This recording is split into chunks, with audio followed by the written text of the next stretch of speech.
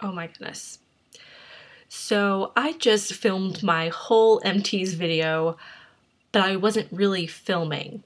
So I went through explaining all the products and I had zero footage of me explaining those products.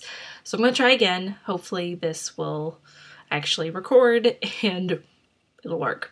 Okay, so moving into my empties videos, I kind of have to re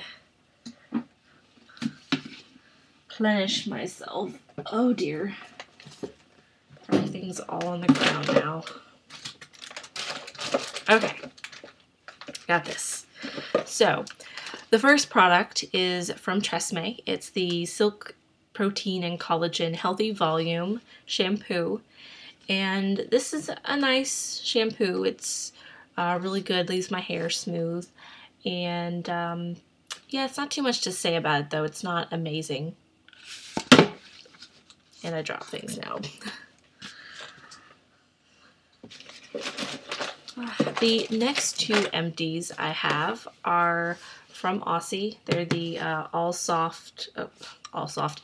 They're the Moist range, uh, the shampoo and conditioner. And I really love these. Uh, they're really, they add a lot of moisture to your hair and um, I actually like them a lot better. I'm using the All Soft range now, and I like these a lot better, and they're cheaper. So I think after I'm done with the All Soft, I'm going to go back to this. Um, yeah, so work really well. Ah. And the next product, next empty I have is actually kind of cheating because this isn't technically empty, but the towelettes are kind of dried out now and it's really old. I've had this for a while, so it just, I needed to just throw it away. And it's the Yes to Cucumber Soothing Facial Towelettes. And I use this as a makeup remover, um, but the problem is it's not really good at removing makeup, uh, partly just because it's not moist enough. The towelettes aren't that moist. And I tried storing them upside down, like um, I've heard some people talk about that's supposed to be really good to uh, bring the moisture to the uh, pads in the front, but it didn't really do that much to make them that much more moist.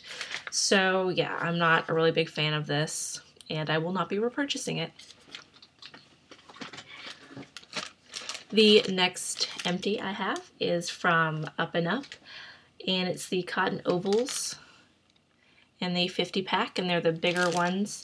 And I like to use this with my toner and I find that it's, since it's so big, I don't have to, you know, spend a long time uh, putting it on my face, putting all the toner and stuff. So the thing I don't like though is it's kind of uh, rough. So I've actually been using the Shiseido cotton pads and I've been liking them a lot more. It's just they're a lot more expensive, so I probably will be going back to these just because they're a lot cheaper. And they're not that bad. They're just not as soft as I'd like. And the last empty I have, I feel like I kind of went through this really quick, but I don't have that many.